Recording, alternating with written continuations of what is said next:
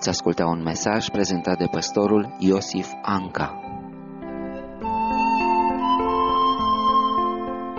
Slăvit să fie Domnul! Cu ajutorul Domnului, haideți să ne reîntoarcem la studiul nostru, să deschidem Scripturile la Cartea Faptele Apostolilor, capitolul 16. Vom continua studiul bisericilor din Noul Testament. Astăzi ne vom opri prin uh, bunăvoința Domnului în uh, biserica din Filipi, cea din tâi biserică din uh, Europa, prima localitate europeană, o colonie romană, un oraș care din acest punct de vedere avea niște privilegii aparte, un drept de vot, o organizare romană. Așa citim în 16 cu 12, de acolo ne-am dus la Filip, care este cea din tâi cetate dintr-un ținut al Macedoniei și o colonie romană. Biserica din Filip este o biserică model, în mod special din punct de vedere al bucuriei care au gustat-o ei în suferințe, în sărăcie. Vreau să ne oprim pe rând, mai întâi la fondarea bisericii, la felul în care s-a format acea biserică, și apoi să privim de-a lungul istoriei, ținând cont de cele ce sunt scrise în Cartea Faptele Apostolilor și în Epistola lui Pavel către Filipeni. Lucrarea în Filip a fost deschisă prin Pavel și cei care au lucrat împreună cu el. Uitați-vă în 15 cu 40, Pavel și-a ales pe Sila. Unul a fost Sila din colaboratorii săi din Filip, un altul, 16 cu 3, e Timotei, Pavel a vrut să le ia cu el și după ce l-a luat, l-a tăiat în prejur. Se pare că a fost și Luca, cel care a scris Evanghelia, și cel care a scris și Cartea Faptele Apostolilor și deducem aceasta din faptul că, uitați-vă la versetul 10, scrie, după vedenia aceasta lui Pavel, am căutat îndată să reducem în Macedonia și de aici el vorbește la persoana a întâia plural, ca și cum ar fi fost și el parte din echipă. Uitați-vă și în versetele următoare, după ce am pornit, se include și el, versetul 15, după ce a fost botezată, ne-a rugat și ne-a zis, versetul 16, pe când ne duceam, pentru că până aici, în Cartea Faptele Apostolilor, Luca nu scrie la persoana întâia ca și cum ar fi fost și el. Și nici în continuare, din capitolul 17, Pavel și Sila au trecut prin Amfipoli și Apolonia și au venit în Tesalonic, unde era o sinagogă iudeilor. Unii cred din acest punct de vedere că Luca a rămas în Filip. Nu știm, rămânem doar la ceea ce este scris. A fost și el acolo. Această echipă, să zicem așa, sau acest grup de misionari a pornit, spune în versetul 6, să vestească cuvântul Domnului în Asia. Au trecut prin ținutul Frigiei și Galatii, dar au fost opriți să nu stea acolo. Au avut o interdicție din partea Domnului. Versetul 7, ajuns lângă Misia, se pregăteau să intre în altă provincie, în Bitinia. Dar Duhul lui Iisus nu le-a dat voie nici acolo. Și poposind ei la Troa, spune versetul 9, Pavel a avut o vedenie, un om din Macedonia sta în picioare și a făcut următoarea rugăminte. Treci în Macedonia și ajută-ne. După vedenia aceasta lui Pavel, am căutat îndată să ne ducem în Macedonia, căci înțelegeam că Domnul ne cheamă să le vestim Evanghelia. Ei au avut o trimitere, o chemare și a trebuit să-și înțeleagă planul acesta. Fiecare dintre noi, doar care o chemare pentru o anumită lucrare, are și o chemare pentru un anumit loc. Dar nu se înțelege atât de ușor la ce te cheamă Dumnezeu să faci. Și în multe alte domenii ale vieții, durează puțin, trebuie să te strădui până înțelegi. De exemplu, la căsătorie. E atât de simplu. Ne cade așa un bilețel din cer și scrie pe el numele fetei cu care trebuie să te căsătorești? Nu. Vine cineva să se pocăiască. Durează puțin până se lămurește. Știi că te cheamă Dumnezeu la o lucrare, dar durează, chiar la niște oameni calificați cum au fost aici, până înțelegi care este voia lui Dumnezeu. Amintiți-vă, de exemplu, Iosif vroia să ia pe Maria. A fost un timp până când el a înțeles care e voia lui Dumnezeu pentru el și cum trebuie să facă. Amintiți-vă și de alți proroși al Vechiului Testament și de Apostolul Petru când s-a dus în casa lui Corneliu, până să înțeleagă. Durează. Și doar cine stă sincer înaintea Domnului și e gata să-L asculte, va ajunge să înțeleagă unde trebuie să meargă, ce trebuie să facă, cu cine trebuie să meargă. Dacă nu întrebăm pe Domnul, dacă facem așa de capul nostru sau unde credem noi, ratăm împlinirea planului lui Dumnezeu. Rețineți ce spune aici în versetul 10. După vedenia aceasta, înțelegeam că Domnul ne cheamă să le vestim Evanghelia. Dar ei plecaseră, dar n-au știut exact ce și cum. Deci vreau să reținem că este nevoie de mesaje din partea lui Dumnezeu pentru a înțelege planul lui pentru noi, dar mesaje care să se înscrie într anumite împrejurări, să se potrivească aceste mesaje cu împrejurările de pe teren. Acest lucru este valabil și în ce privește evangelizarea care a urmat. spune în 16 cu 13, în ziua sabatului am ieșit afară pe poarta cetății, lângă râu, unde credeam că se află un loc de rugăciune. Filip era o cetate fără sinagogă. Și știți că în celelalte cetăți unde erau sinagogi, Pavel mergea acolo și de acolo începea predicarea, cine vroia venea după el, mergeau la o casă sau la sinagogă. Dar aici au predicat prima dată în aer liber, uitați-vă și în versetul 16, acolo lângă râu, pe când ne duceam la locul de rugăciune. Apoi, 16 cu 25, următorul loc de predică a fost închisoarea. Pe la miezul nopții, Pavel și Sila se rugau și cântau cântări de laudă. De fapt, predica a început după ce a venit temnicerul. Atunci numai era prima parte a programului. Iarăși niște condiții nefavorabile pentru slujba, spune noi. Întâlnim apoi în versetul 32 până la 34 și i-au vestit cuvântul Domnului atât lui cât și tuturor celor din casa lui. Versetul 34. După ce i-a dus în casă, le-a pus masa, s-a bucurat cu toată casa lui că a crezut în Dumnezeu. Deci au predicat în natură lângă râu, în închisoare, în casă, în orice împrejurare care le-a fost pusă de Dumnezeu la îndemână, în orice împrejurare existentă. Dacă au folosit toate împrejurările puse de Domnul, dar așa în mod natural la îndemână, Dumnezeu le-a dat și posibilități supranaturale. Uitați-vă ce spune versetul 26. Deodată s-a făcut un mare cutremur de pământ, așa că s-au clătinat temeliile temniței. Îndată s-au deschis toate ușile și s-au deslegat legăturile fiecăruia. Dacă folosim împrejurările naturale, Dumnezeu ne va pregăti și unele supranaturale. Cum vine asta? Petru și Ioan se duceau la templu să se închine, împrejurări naturale obișnuite. Dumnezeu vine, vindecă un olog și le aduce el în mod supranatural o mare mulțime adunată în față. Dar dacă nu folosim ce este la îndemâna noastră în mod natural, nu o să ne pregătească Dumnezeu dintr-o dată împrejurări supranaturale. Să facem mai întâi ceea ce ține de noi, să folosim modalitățile și împrejurările care ne sunt la îndemână. Și dacă Dumnezeu va găsi de cuvință, va pregăti și altele. Dacă Dumnezeu vrea în mod special să intervină, să desfășoare lucrarea, o va face. Dar mai întâi noi o facem în mod natural. Să nu așteptăm să facă Dumnezeu minuni întâi până nu facem noi ceea ce ține de noi. Amin. Prin aceste împrejurări naturale și apoi cele supranaturale, întâlnim aici în Filip mai întâi convertirea Lidiei. Ea a fost prima, spune versetul 14, una din ele, numită Lidia, una din femeile care ascultau vânzătoare de purpură din cetatea Tiatira, era o femeie temătoare de Dumnezeu și asculta. Domnul i-a deschis inima ca să ia aminte la cele ce spunea Pavel. Femeia aceasta era temătoare de Dumnezeu. De regulă întâlnim la biserică oamenii care au un spirit de evlavie, care se tem într-un fel de Domn.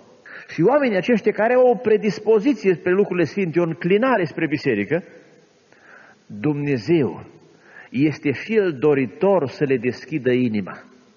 Nu se poate ca cineva să aibă înclinații spre Dumnezeu și Dumnezeu să-ți întoarcă spatele. Unde ați găsit dumneavoastră ceva în Scriptură ca cineva să caute pe Dumnezeu și Dumnezeu să nu se lase găsit? Cine are intenții bune, Dumnezeu de asemenea este și el bine intenționat. Măcar că uneori, cum spune în fapte 17, îl căutăm bâșbâind. Amintiți-vă de Corneliu din fapte 10, de la versetul 2. Din nou un om temător de Dumnezeu. Acolo o femeie, aici un bărbat. Omul acesta era cucernic și temător de Dumnezeu împreună cu toată casa lui, deci și copiii, soția. El făcea multe milosteni în rodului și se ruga totdeauna lui Dumnezeu. Pe la ceasul al nouălea din zi a văzut lămurit într-o vedenie pe un înger al Dumnezeu care a intrat la el și a spus, Cornelie, ce este? Rugăciunile și milostenile tale s-au suit înaintea lui Dumnezeu. Și el și-a adus aminte de ele. Primii pe listă la mântuire sunt oamenii temători de Dumnezeu. Dumnezeu privește din cerul să vadă ca inimă se îndreaptă spre el și le va trimite într-un fel sau altul mesajul, fie prin Petru, fie prin Pavel, dacă sunt gata să asculte cuvântul. Uitați-vă aici ce spune versetul 33. Am trimis îndată la tine și bine ai făcut că ai venit. Acum, dar, toți suntem aici înaintea lui Dumnezeu ca să ascultăm tot ce ți-a poruncit Domnul să ne spui. Și în dreapta, versetul 44, pe când rostea Petru cuvintele acestea, s-a pogorât Duhul Sfânt peste toți cei ce ascultau cuvântul. Dumnezeu onorează temerea de el. Dar temerea de Dumnezeu îți va deschide ușa înaintea Domnului când ești gata să asculți cuvântul. Cea mai mare temere va fi ascultarea ta față de cuvânt. Când Lidia a ascultat cuvântul, Domnul i-a dat mântuirea. Când Corneliu a ascultat cuvântul predicat prin Petru, Dumnezeu l-a mântuit. Dar, scrie Biblia în Roman, reluând un cuvânt din prorocul Isaia, zice Domnul, eram gata să mă las găsi și de cei ce nu întrebau de mine. Avem în Filip temnicerul, un om care nu era temător de Dumnezeu. Un om care nu avea nimic cu Dumnezeu. Și pe aceștia caută Dumnezeu. Citim aici și despre el în capitolul 16 și despre deținut. Mă gândesc eu că și respectivii nu erau temători de Dumnezeu, că doar nu-i băgase la închisoare pe bază de credință. Pavel și Sila cântau, 25 și 26, s-a făcut un mare cutremur de pământ, așa că s-au clătinat temeliile temniței. Îndată s-au deschis toate ușile și s-au dezlegat legăturile fiecăruia. Amintiți-vă la Petru, în fapte 12, când l-a eliberat Domnul în închisoare, nu s-au desfăcut numai legăturile lui, dar aici s-au desfăcut legăturile la toți, ca un simbol că Domnul vrea să-i mântuiască și pe aceștia. Și scrie aici că în timp ce Pavel și Sila cântau, finalul versetului 25, cei închiși îi ascultau. Deci chiar și cei de afară, dacă își deschid inima și urechea spre Domnul, Domnul e gata să le creeze posibilități de mântuire. Nu credeți că pentru ei faptul că li s-au desfăcut legăturile era o minune, ca ei să poată crede mai ușor cuvântul? Ei și-au dat seama, oamenii ăștia care cântă, ăștia au o putere. Și mai am o dovadă că posibil și temnicierii să se fi pocăit. Spune în versetul 28, dar Pavel a strigat cu glas tare, să nu-ți faci niciun rău, că toți suntem aici. Repet, nu știu dacă s-au pocăit, dar cel puțin au rămas la slujbă până la gata. Și legați, și dezlegați. Probabil că unii ar sta la biserică să asculte dacă ar fi legați, dar Domnul vrea să stăm dezlegați. Și sunt unii care sunt legați în chip spiritual și dacă ascultă bine Evanghelia, Domnul îi dezleagă, să asculte și dezlegați și să se pocăiască. A venit temnicerul în situația aceasta, după ce i-a fost administrat un șoc dumnezeiesc, așa, un șoc divin, să se trezească. Și spune, în versetul 27, el vroia să se omoare, că își credea că cei închiși au fugit. Să nu-ți faci niciun rău, că și toți suntem aici. Atunci temnicerul a cerut o lumină, a sărit înăuntru și tremurând de frică, s-a aruncat la picioarele lui Pavel și a lui Sila. Când pe om îl apucă frica, așa precum odinioară pe Iacov la Betel, când a văzut scara cerului, e momentul ca Dumnezeu să-i vorbească. Oamenii temători de Dumnezeu au tot timpul frică, dar cei care nu se tem de Domnul, Dumnezeu creează anumite împrejurări ca să ajungă și ei, să fie atenți. Că oamenii de pe stradă care nu se tem de Dumnezeu și nu li se întâmplă nicio rău, du-te și le predică. Nu te ascultă nimeni. Dar Dumnezeu și pentru aceștia are har și atunci îi face puțin așa să stea în loc, să-și dea seama că ar putea să moară și să poată Domnul să le vestească în mod special cuvântul. Și el a ascultat, gândiți-vă cu ce emoții, și a ascultat familia în noaptea aceea. Eu nu știu dacă cu tremurul a fost atât de puternic că s-au trezit toți oamenii din Filip sau că s-a dus temnicerul acasă, oricum el le-a dat explicații. Și el se puteau gândi doar că e un simplu cutremur și le-a spus, nu, nu, nu, e un cutremur pentru noi. Să se cutremure și trupul și casa, dar și inima. Și s-a cutremurat, s-a deschis și inimile date cu ușile temniței și ei au primit cuvântul în seara aceea. Se naște aici o întrebare. Când trebuie botezat cineva? Câtă cateheză trebuie făcut? Că aceștia se pare că au fost botezați mai repede decât îi botezăm noi. Uitați-vă ce spune în versetul 15. După ce a fost botezată ea și casa ei, ne-a rugat și ne-a zis, dacă mă socotiți credincioasă, când trebuie botezat un om? când îl socotim credincios. Socoteala aceasta au făcut-o apostoli în dreptul ei și au socotit că e credincios. Spune aici, pentru ternicier, versetul 32, și au vestit cuvântul Domnului atât lui cât și tuturor celor din casa lui. Deci un om trebuie botezat când îi se administrează suficient cuvânt pentru botez și lucrătorii socotesc că este credincios. Dacă noi am ascultat cuvânt așa cum predica Pavel, astăzi poate toată ziua, la noapte toată noaptea, mâine seară din nou, poi mâine seară din nou, și să fie probabil și așa în doze concentrate administrat de Sfântul Pavel, și am fi așa total dați Domnului, ar putea unii să fie botezați și mai repede. Dar de regulă s-a lungit timpul acesta până la botez, pentru că intervin atâtea convertiri artificiale în virtutea faptului că din familie, în virtutea faptului că vrea cineva doar să fie botezat, dar nu avem încredințarea că este deja credincios Și uneori se observă că nici cuvânt nu se știe îndeajuns. Ori la cuvânt mai putem adăuga ceva. În vremea din urmă cunoștința va crește. Și trebuie să știe cuvânt pe măsura cunoștinței din vremea de acum, ca să poată face față problemelor și ispitelor. Domnul să ne sprijinească la aceasta. Amin. Vrem să trecem mai departe la evoluția istorică a bisericii. Deschideți la capitolul 20. Pavel a mai trecut prin Filip în a treia călătorie misionară, spune aici. Pavel a chemat pe ucenici și după ce le-a dat sfaturi și a luat bună ziua de la ei și a plecat în Macedonia. A străbătut ținutul acesta și a dat ucenicilor o mulțime de sfaturi. Așa cum am spune noi, că a venit și le-a adus câteva duzine de casete de studiu. Dar el le-a ținut direct, atunci nu erau casete. O mulțime de sfaturi. Multe. Unde a rămas trei luni. Gândiți-vă cât putea să învețe Pavel trei luni într-una.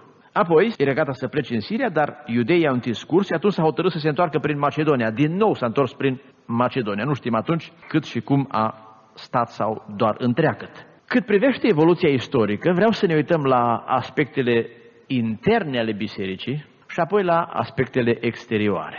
Deci, relația bisericii în afara zidurilor. Deci cum era în Filip când se adunau, erau numai ei de ei. Și vreau să vedem trei lucruri ușor de ținut minte. În primul rând, bucuria lor. Ce înseamnă de fapt bucuria? Să fim plinit. Și nu doar să fim plinit, este un farmec spiritual în bucurie. Bucuria este o roada Duhului Sfânt. Uitați-vă cum se bucurau cei din Filipi. Fapte 16, versetul 34. Cum era temniceriu când s-a produs cu tremurul? Tremura. Emoții, un șoc psihic. Uitați în versul 34. După ce i-a dus în casă și le-a pus masa, s-a bucurat cu toată casa lui că a crezut în Dumnezeu. De la șocul respectiv sau de la nepăsarea lui de până atunci, de la spiritul lui rece, a pus să-i bată, să-i bajă în temniță și dormea liniștit. Acele stări s-au schimbat cu bucurie. Și bucuria aceasta care l-a cuprins pe temnicier a fost pentru toată biserica din Filip și în decursul anilor. Descrieți acum la Filipeni. În această epistolă de foarte multe ori scrie de bucurie. Eu numai câteva versete vă citesc despre bucuria lor. Filipeni 1 cu 25. Și sunt încredințat și știu că voi rămânea și voi trăi cu voi toți pentru înaintarea și bucuria credinței voastre. O credință care se manifestă bucurându-te și asta merge înainte, bucuria asta. Nu e doar o bucurie spontană, de moment, pentru înaintarea și bucuria credinței voastre. Mai departe, doi cu doi. Faceți în bucuria de plină. Au să te bucuri în mod desăvârșit, în mod absolut. Întoarceți pagina 2 cu 17. Și chiar dacă va trebui să fiu turnat ca o jerfă de băutură peste jerfa și slujba credinței voastre, eu mă bucur și mă voi bucura și mă bucur cu voi toți. Deci bucuria era pentru Pavel, adică bucuria trebuie să fie pentru lucrători și pentru toată biserica. Versetul următor. Tot așa și voi, bucurați-vă împreună cu mine. Nu te poți bucura singur, numai dacă te bucuri cu frați. Și după cum spunea Domnul în Ioan 15, să te bucuri și împreună cu El, bucuria în Domnul, bucuria cu frați, bucuria credinței. Uitați-vă apoi versul 29. Vorbește despre Epafrodit. Primiți-l deci în Domnul cu toată bucuria. Când venea un frate la ei, era un colaborator apropiat al lor, să se bucure cu toată bucuria și când au aflat că e bolnav și că nu mai poate să vină, s-au întristat, s-a întristat și Pavel. Și prețuiți pe astfel de oameni. Apoi, în capitolul 3, versetul 1, încolo, frații mei, Bucurați-vă în Domnul. Apoi 4 cu 4. Bucurați-vă totdeauna în Domnul. Iar zic, bucurați-vă. Cum o fi bucuria asta? Nu să te bucuri, devine frate să te bucuri, dacă nu să te bucuri în Domnul. Când îți trimite Pavel o scrisoare să te bucuri. Versetul 10 am avut o mare bucurie în Domnul, că în sfârșit ați putut să vă înnoiți iară simțămintele voastre față de mine. Vă gândeați voi la așa ceva, dar vă lipsea prilejul. Și încă un verset din 2 Corinteni 8 cu 2. În mijlocul multor necazuri prin care au trecut, bucuria lor peste măsură de mare. Auziți? Nu mai aveau unde sprijini bucuria. Era o bucurie peste măsură de mare. Pavel nu mai știe cum să o compare, cum să o măsoare peste măsură de mare și sărăcia lor lucie. În loc de bani au pus bucurie în loc, în era sărăcie lucie. Tot ce n-aveau numai turnau bucurie. Au dat naștere la un belșug de dărnicie din partea lor. Deci când te bucuri, te bucuri de frații care vin, te bucuri de prezența la adunare, te bucuri în Domnul, cum se spune aici în orice moment, te bucuri să dai, nu, numai te bucuri. Bucuria asta vine prin Duhul lui Dumnezeu, este o roadă a Duhului lui Dumnezeu. Au primit Duhul Sfânt, alții s-au rugat pentru umplere. Păi în mod Neapărat, trebuie să fie și bucuria. Sau pe noi când ne-a umplut, bucurie nu ne-a dat în porția noastră, nu-i condimentată cu de toate, n-are toate ingredientele. Bucuria este împlinire spirituală, e un farmec al Duhului lui Dumnezeu. Numai Dumnezeu poate să dea așa ceva. Și la Filip, asta era din belșug. De mergeai în biserica aia, te bucurai. Dar te bucurai? Nu cum îmi spunea un frate, s-a dus la o anumită biserică și îi zice păstorul, în seara asta te bucuri și te necăjești. Ce nu cred. Ce tu crezi că eu sunt așa să mă prind ca un foc de paie? Spun, în seara asta te bucuri și te necăjești. Ți-am mers acolo și am început să predic așa domol, nu cumva să-i aprind eu. Și da, s-au aprins. Și ce m-am abținut pe parcursul predicii, îmi spunea acel frate, dar la final am plâns și eu alături de ei. Și apoi și-a păstorul și a întrebat, măi, v-ați împăcat voi? Tu mai bei? L-a întrebat pe unul. Și n-a început un scandal. Ce nu l-am crezut. Ăia s-au și bucurat, dar la gata s-au și certat. Nu despre așa ceva e vorba în Filipe. Deci nu despre bucurie din asta o euforie așa ca un foc de paie. Despre acea bucurie care rămâne și aici și când ești. Și acasă, care te marchează. Asta nu e bucurie, așa că a spus cineva o vorbă așa cu tâlc, să nu zicem altfel, sau că cineva ți-a dat ceva. Nu bucurie de asta din afară când cape și când te mânghe cineva. Bucurie când capeți altfel, chiar dacă este cazul. Bucurie care izvorește dinăuntru și peste măsură de mare. Doamne, dă-ne asemenea bucurie. O a doua calitate, sau starea bisericii, dărnicia. Rămânem aici și citim în continuare de la versetul 3. Vă mărturisesc că au dat de bună voie, după puterea lor și chiar peste puterile lor. Cum o fi aceea să dai peste puterile tale? Și ne-au rugat cu mari stăruințe pentru harul și părtășia la această strânși de arătoare pentru sfinți. Și au făcut aceasta nu numai cum nădăjduisem, dar s-au dat mai întâi pe ei înșiși Domnului și apoi nouă, prin voia lui Dumnezeu. Dărnicia asta mi se pare mie că e numai pentru anumite domenii. De cum va potrivește aia cu ce avem noi minte, dăm. Dar de nu, nu dăm nici cât să consumă curent electric. Asta e un fel de dărnicie așa strategică. Asta nu e peste măsură de mare. O dărnicie constantă și că dacă uneori, chiar au zis frați, și trebuie să mai facem o colectă pentru știu ce construcții de case adunare, pentru știu ce necăjiți pe Oltenia, că nu cumva să rămână frații fără răsplată. Că în rest, pentru alte domenii, nu prea dau. Știți, aici doar tot pentru nevoia de biserică, n-a cerut nimeni pentru slujitor, nu este cazul. Dar trebuie să dăm așa în mod sistematic, în mod constant, asta era specifică macedonienilor. Ce înseamnă asta să fii darnic? E materializarea lepădării de tine și a dragostei. Uitați ce spune versetul 5, aici e secretul. Și au făcut lucrul acesta nu numai cum nădăjduisem, s-au dat mai întâi pe ei înșiși Domnului. Cine se dă mai întâi pe el Domnului și apoi banii, Păi când te-ai urcat în autobuz, doar nu-ți lași pormoneul jos, nu? Dacă e vorba să bagi numai pormoneu în față, atunci mai cu grijă îl ții pe scări la intrare. Dar când tu te-ai dat Domnului, păi și pormoneul ei cu tine. Asta înseamnă că te-ai lepădat de tine. Citeam un articol reluat de prin anii 30 din revista Cuvântul Adevărului. Și acolo un frate dădea exemplu despre o familie care erau dăruiți pentru viața de biserică, dar la un moment dat ea a început, sora, soția, să-i placă hainele scumpe. Și a spus, băi, trebuie să-mi cumpăr. Și că puțin lux nu strică și zicea acolo, potrivit la banii de atunci, în loc să-și cumpere haine cu 1000, cumpăra tot cu 1500 și nu mai rămânea 500 pentru Domnul. La care i-a spus, dacă tu îți permiți să cheltui, și și eu îmi permit să beau. Dacă puțin lux nu strică, nici puțin vin nu strică. Și în final, ea a ajuns o femeie lumească și el un bețiv și s-a lăsat amândoi de pocăință. Și sfatul celui care a scris articolul atunci era să consum mai puțin pentru tine, să ne ajute și pe noi la aceasta. Știți, în Filipem 4 scrie acolo că le lipsea prilejul să trimită banii la Pavel. Deci să cauți tu după prilejuri. Asta înseamnă să stărui, să dai, să cauți tu după prilejuri. Unde să dai și pe cine să ajuți. Asta înseamnă dărnicie macedoniană. Și a treia calitate care o întâlnim aici, părtășia frățească. Uitați-vă din nou în fapte 16, versetul 15. După ce a fost botezată, ea și casa ei ne-a rugat și ne-a zis, dacă mă socotiți credincioasă Domnului, intrați și rămâneți în casa mea. Și ne-a silit să intrăm. Ăștia țineau legătura și le plăcea veniți la noi.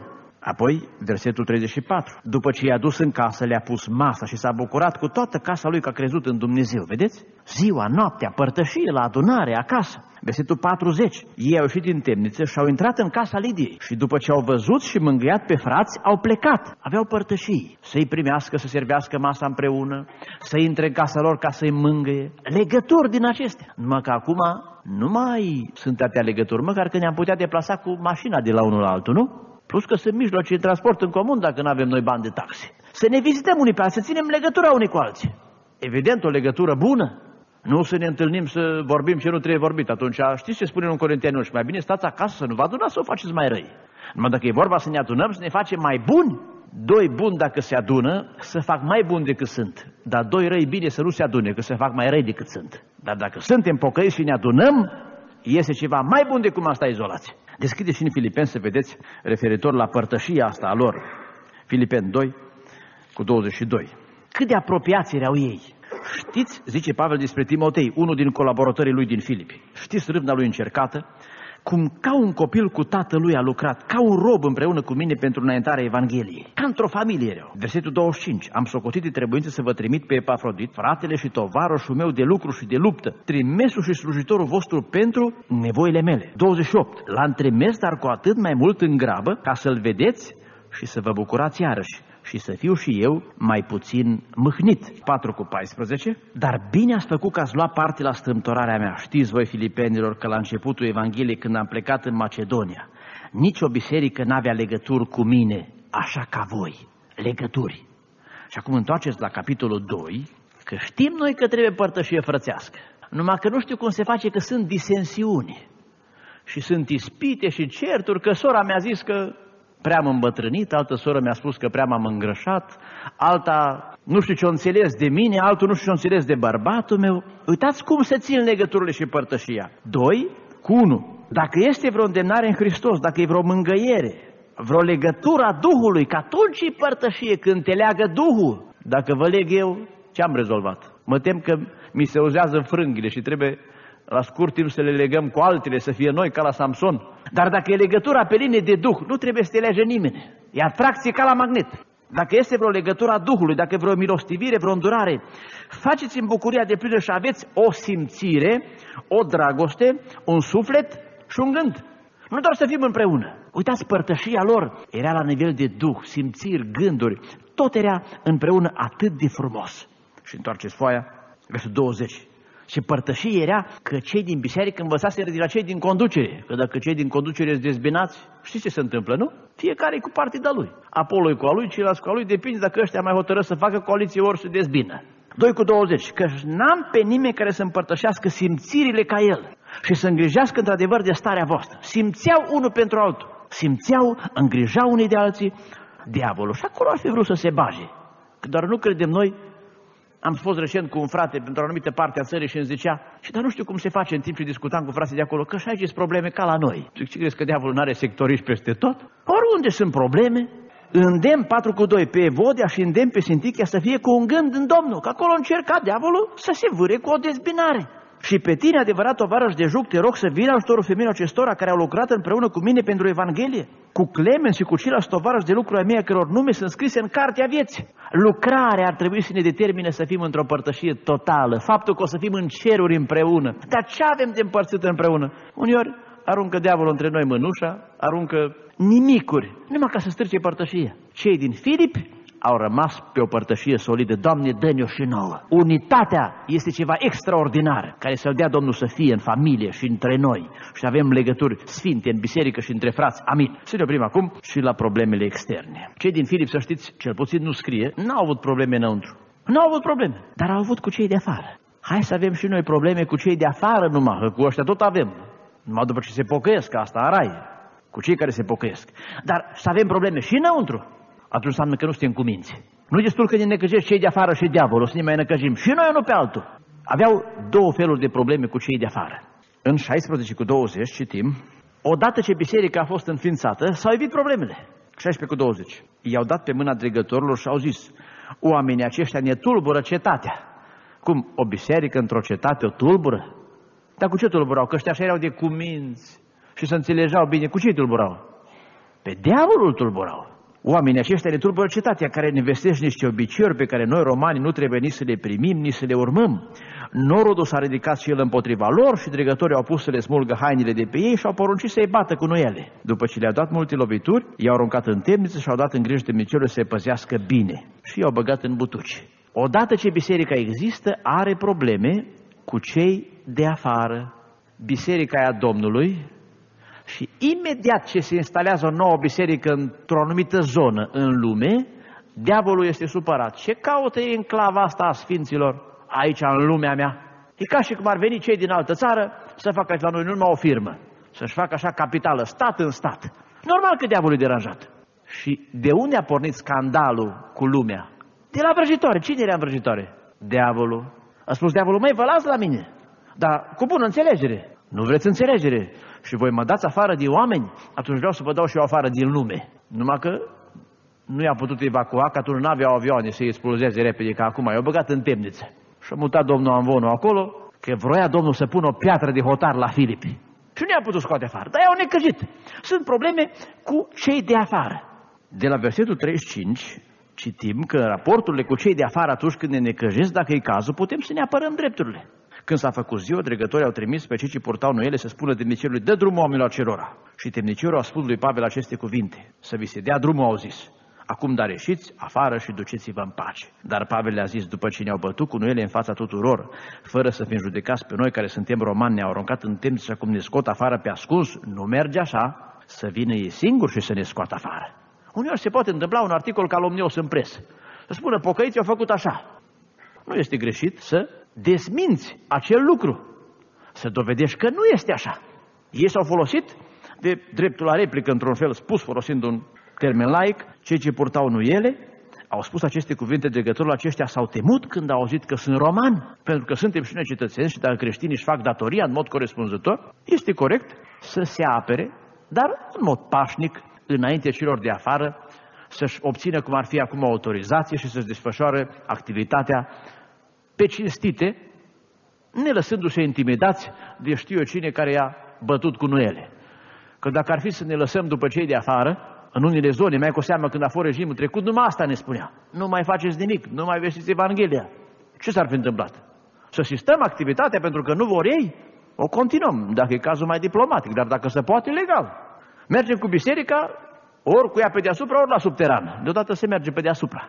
În vremuri de pregoană, atunci e biserica subterană. Înaintăm pe unde putem cu tranșeile, dar să mergem înainte, amin. Cel de-al doilea aspect, cel de-al doilea necaz exterior pe care îl are biserica, îl are cu celelalte religii, că diavolul te lasă la o adică să instalezi biserică, numai să nu fie biserica curată. Și de nu vrei să o mânjești, te supără. Uitați-vă aici, toate vă citesc de aici. Din cazul celor din Filipi. De la versetul 16, le-a ieșit înainte o vrăjitoare. Înseamnă că de fiecare dată când mergeau la adunare, pleca și vrăjitoarea spre adunare. Eu nu știu dacă ei mergeau încolo și ea venea încoace. Dar oricum avea orar și ea tot la ora aia. Rezultă de aici și se vede și pe teren că diavolul ar vrea să compromită lucrarea unind-o cu lucrarea lui. Și atunci te lasă. Ce încercări sunt și în ziua de astăzi, la fel și fel de alianțe, la fel și fel de partide împreună, de coaliții. Să ne unim mai întâi numai noi evanghelici și să ne zicem evanghelici, apoi să ne unim cu cei care sunt țara noastră, după ce ne unim și cu cei care sunt afară. Și până la urmă au religii și budiști și alții, și vrăjitorii și alții. Și facem un congres cu toți. Aici aviz, biserica întotdeauna va fi tentată, amintiți-vă și de cazul din Samaria, să se unească cu lucrări care sunt străcate. Ce se întâmpla dacă îl lăsa Filip sau Petru și Ioan, Domnul prin ei, pe Simon să desfășoare activitatea în Samaria? Păi nu mai știau oamenii cine i-a vindecat, Dumnezeul lui Filip sau diavolul lui Simon.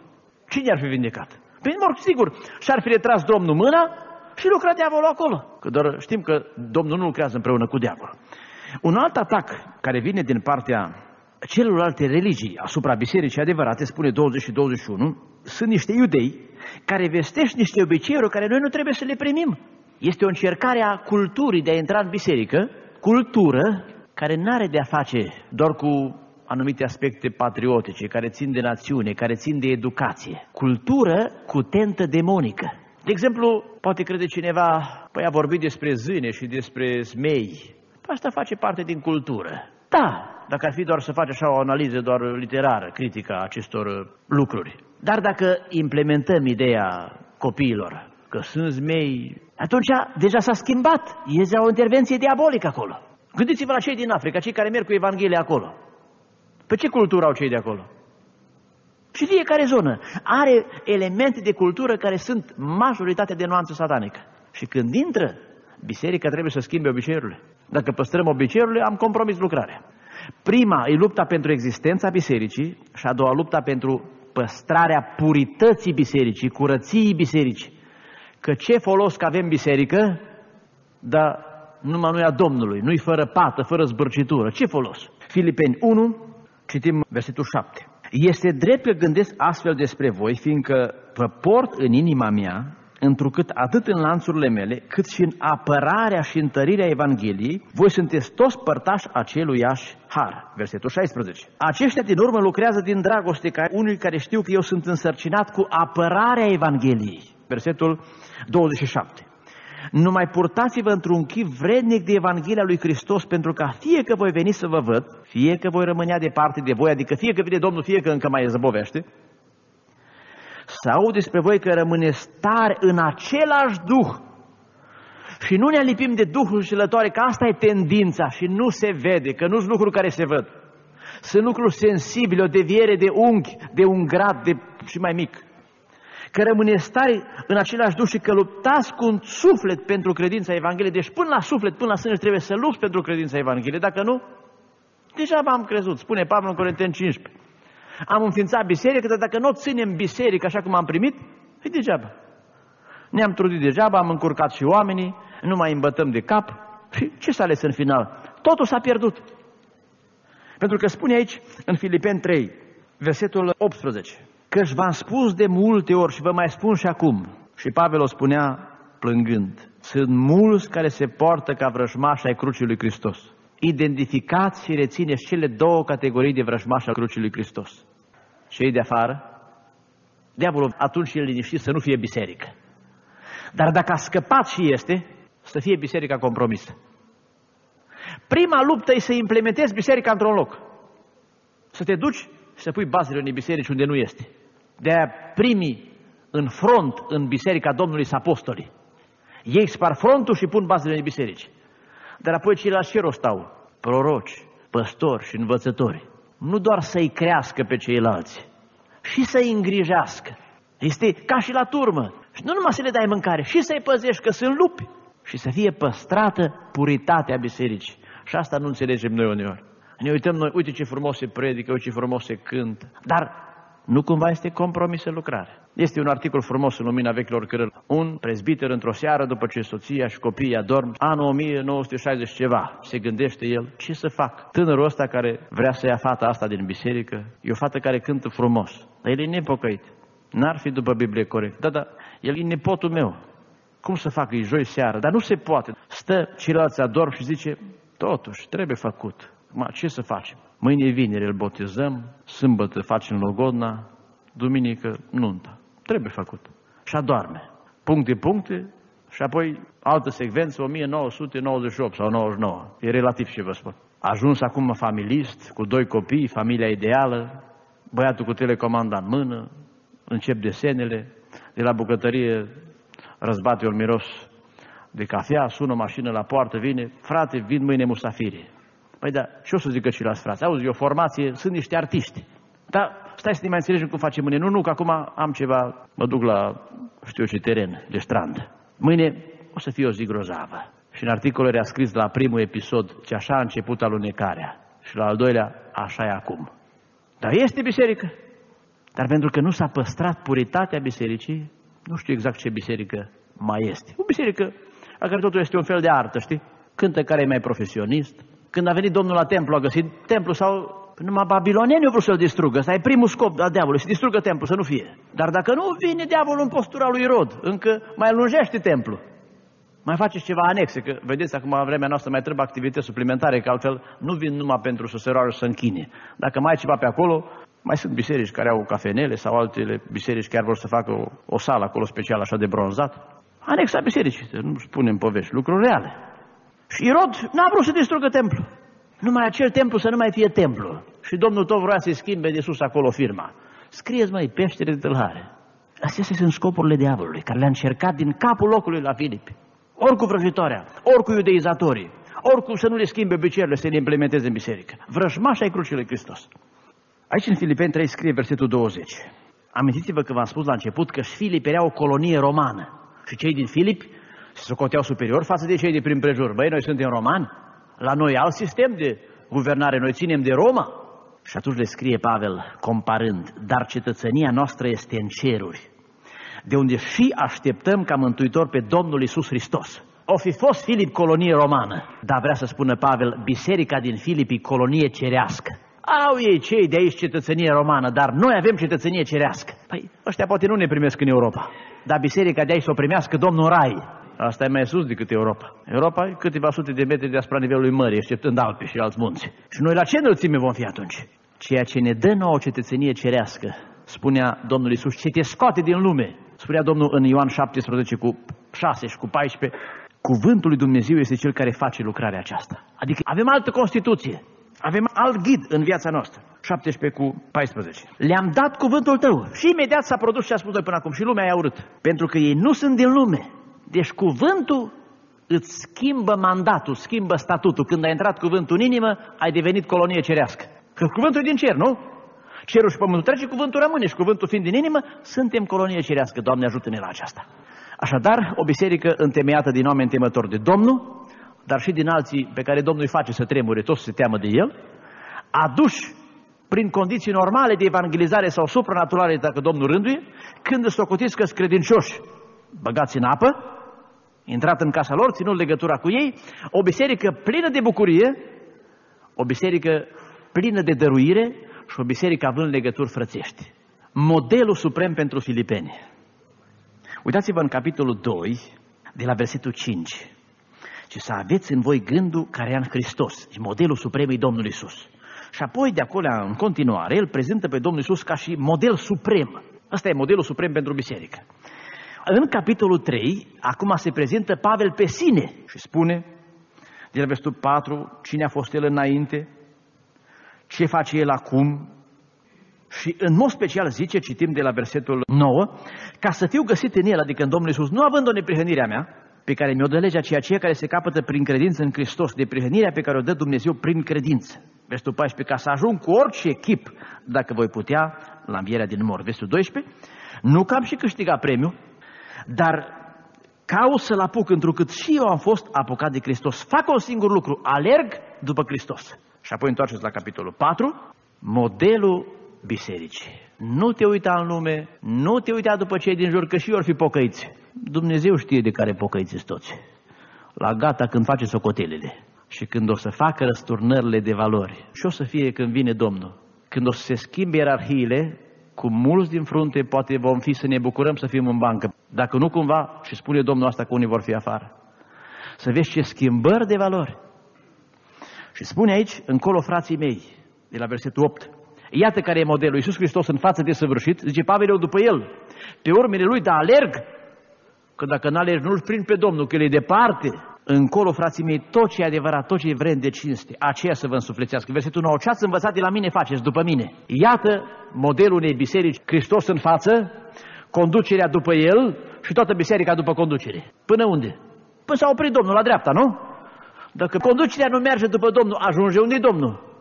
Dacă biserica nu merge după conducere, nici ei n-ajung și dacă cineva se duce în altă parte, va fi pierdut. Și în final se încheie cu ceea ce ar vrea Domnul. Harul Domnului Iisus Hristos să fie cu voi toți. Dar care e harul? Nu-i harul să ajungi unde a ajuns Domnul? În capitolul 2, Domnul în față, în capitolul 3, Pavel spune, eu alerg după el, nu mă las, fac orice, cu orice chip. Și în capitolul 4 spune, vedeți și voi. Ca să ne dea Domnul harul, să ajungem în final mântuiți Domnul să ne ajute. Amin.